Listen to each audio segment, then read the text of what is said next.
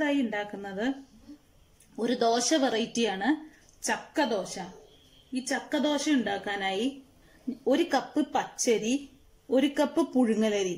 പുഴുങ്ങലരി ഇല്ലെങ്കിൽ ഇഡ്ലിപ്പൊന്നി. ഞാനിവിടെ ഇഡ്ലിപ്പൊന്നിയാണ് എടുത്തിരിക്കുന്നത്. ഈ രണ്ട് അരിയും ഒരു മണിക്കൂർ വെള്ളത്തിലിട്ട് നൈസായി അരച്ചെടുക്കുക. അരി അരച്ചതിന് ശേഷം അതേ മിക്സി ജാറിൽ പച്ച ചക്ക എടുത്തിട്ടുണ്ട്. ഒരു ഇരുപത് ചുളയോളം എടുത്തിട്ടുണ്ട്. പച്ച ചക്ക ചുള ഒരു നാല് വറ്റൽമുളക് മൂന്ന് പച്ചമുളക് ഒരു നുള്ളു ഉപ്പ് കായം കുറച്ച് കറിവേപ്പില. ഇതും കൂടി അരച്ച് നന്നായി മിക്സ് ചെയ്ത് ദോശമാവ് ഉണ്ടാക്കുക. ഈ മാവ് പുളിക്കേണ്ട ആവശ്യമില്ല. ഉടനെ തന്നെ നമുക്ക് ചുടാം.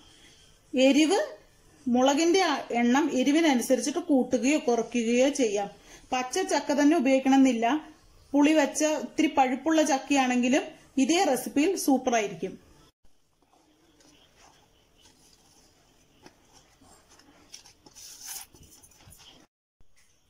ദോശമാവ് റെഡിയായിട്ടുണ്ട് പാകത്തിന് അരിഞ്ഞു കിട്ടിയിട്ടുണ്ട്. ഇനി ഓരോ ദോശയെ ചുട്ടെടുക്കാം. കല്ല് ചൂടായി. ഇനി ദോശ പരത്താം.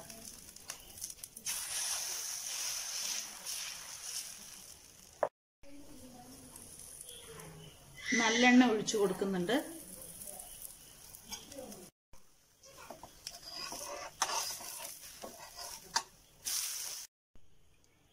ചക്ക ദോശയുടെ ഒപ്പം തേൻ ചേർത്ത് കഴിച്ചാൽ നല്ല ടേസ്റ്റ് ആയിരിക്കും. ദോശയുടെ എരിവും തേനിന്റെ മധുരവും സൂപ്പർ കോമ്പിനേഷനാണ്